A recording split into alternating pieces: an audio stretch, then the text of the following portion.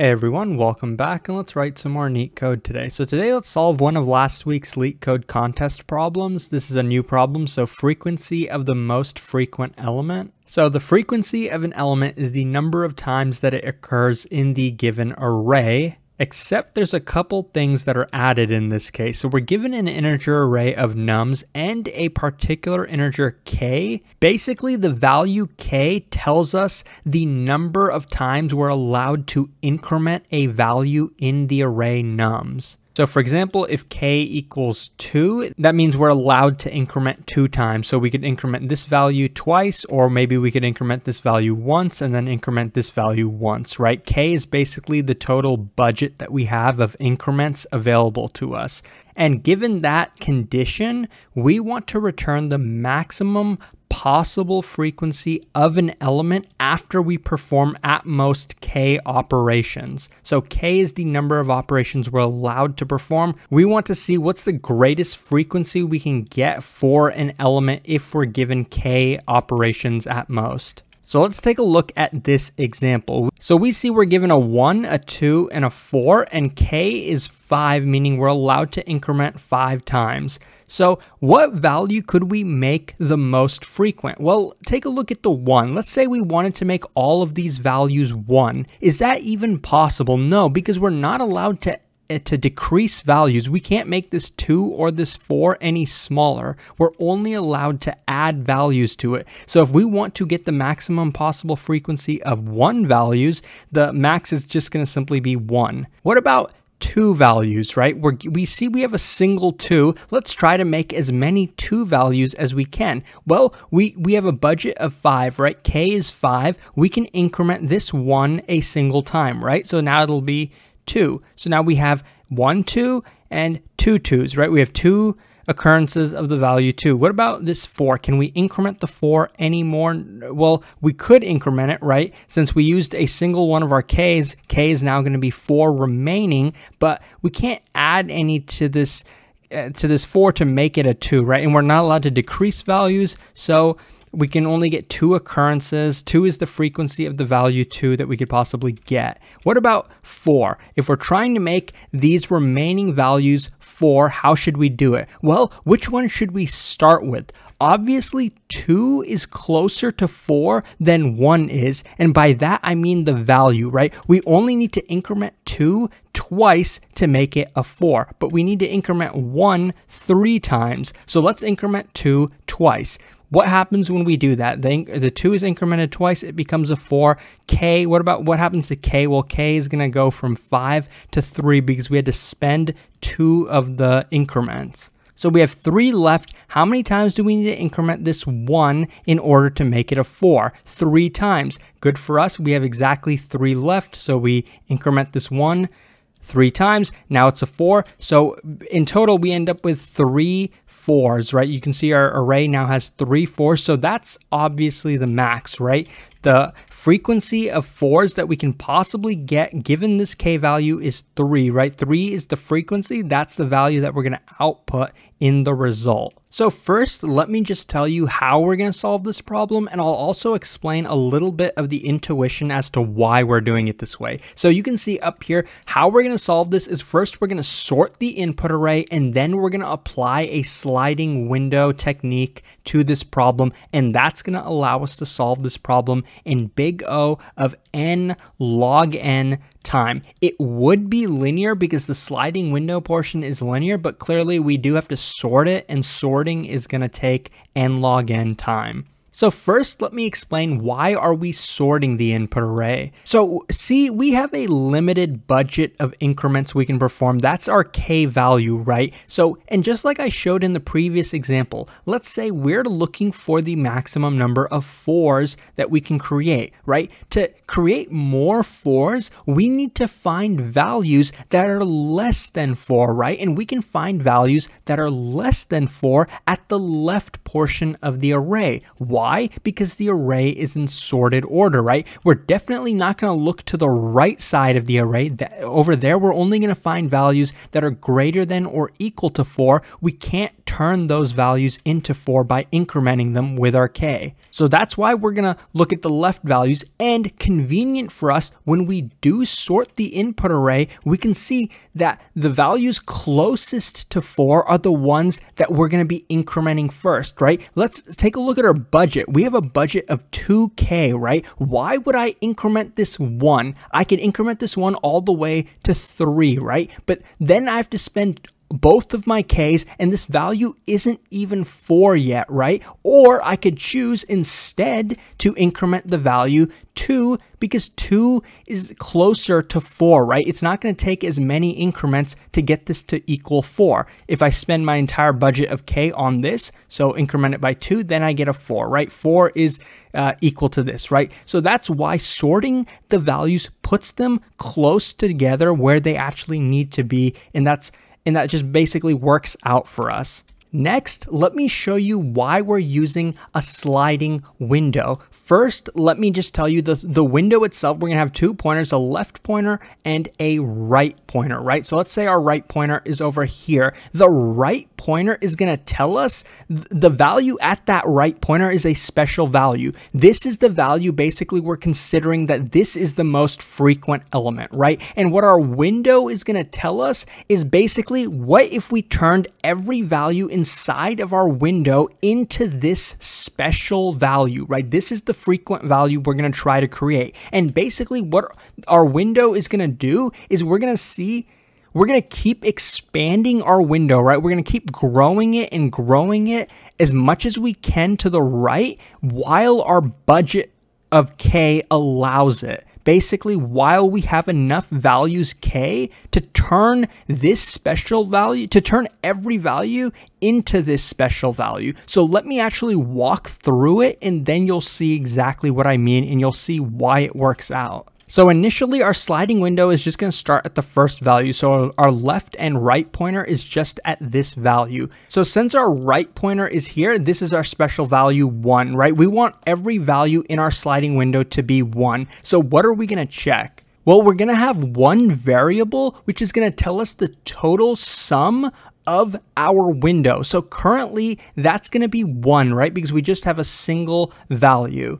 So this is the condition that we're going to use to tell us uh, to continue to expand the window. So I know this might be a little messy. I'm going to walk through it. So the value num at the right pointer, right, for our sliding window, num at position right times the length of our window. So right now we see the length of our window is just one, right? We only have one element and that value itself, num at right is also one, right? So this is just gonna be one times one is less than the total uh, sum of our window, right? We're keeping track of that over here, right? With this other variable total is less than total one plus k. So k is 2 in this case, right? So so basically we're saying while 1 is less than 3, which is true, right? So we're going to continue to expand our window. Why are we doing it like this? This might take you a second to get to wrap your head around why we're ca calculating it like this. I can walk through it very quickly. This num at the right position, let's say we were num was over or right position was over here, right?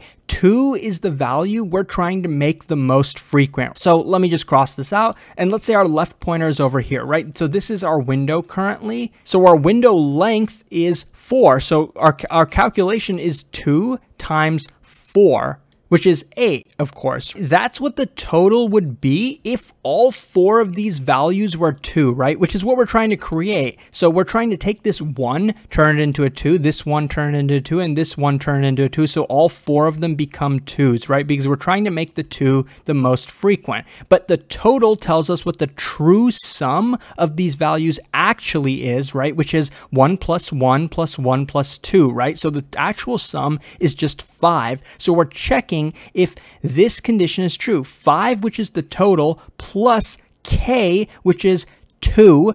So that's 7, right? We're checking is 8 less than 7. This is false, right? Why are we adding k to the total? Because k is the value that's our budget, right? We're allowed to spend two values.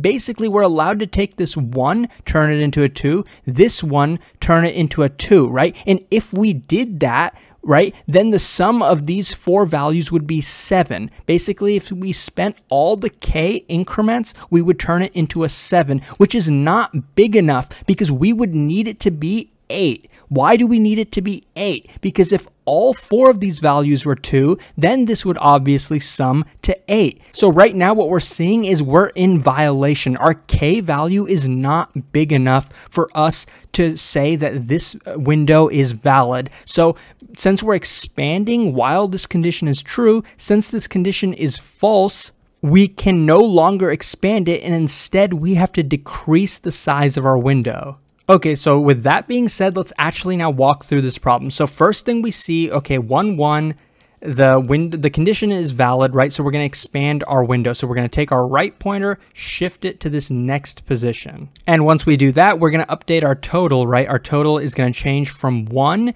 Instead, now it's going to be 2. I'm going to continue to update that. So right now our condition is valid. We see that the num at the right position is 1 times the length of the window 2 is less than the total, which is over here to the left we see is 2 plus k, which is 2, right? So this condition is true right now. We can continue to expand the window. So now our right pointer is over here. I'm going to quickly walk through the rest of this example. The total is going to be 3. Again, we're going to find our condition is valid. We're going to get 1 times 3 is less than uh, 4.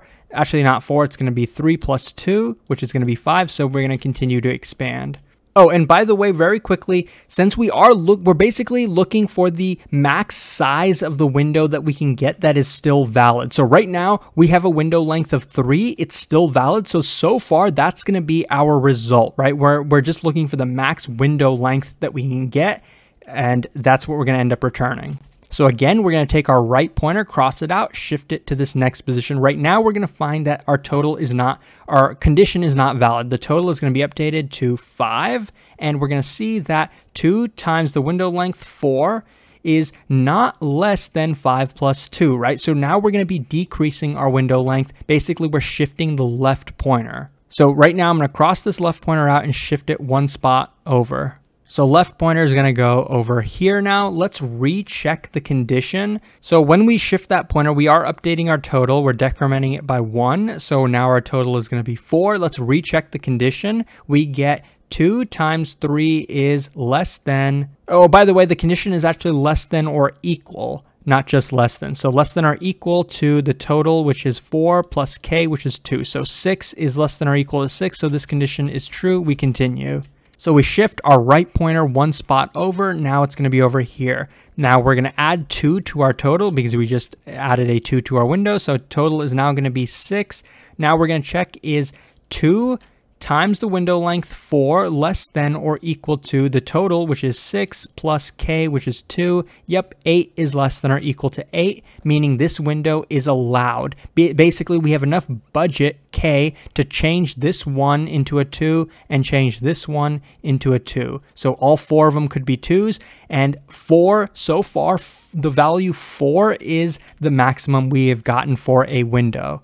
So the last position in the array is where we're going to put our right pointer now. It's going to be at 4. We're going to update our total, increment it by 4. It's, our total is now 10, which we're going to find is going to lead us to an invalid value because 4 is the value in the rightmost position now. Multiply that by our window length 5, which is going to give us 20. That's not big enough for this because our total plus k is 12. It's not big enough right? It's not less than or equal. So what we're going to end up doing is keep shifting our left pointer. And let me just basically run through this so we can jump into the code. Basically, see this left pointer, it's not going to end up being valid until we shift the left pointer all the way over here. Reason being is look at our budget K. We have enough to increment this 2 into a 4, but we just don't have enough to increment this into a 4, right? We only have enough budget to increment this to a 4. So this is going to be the largest window we can make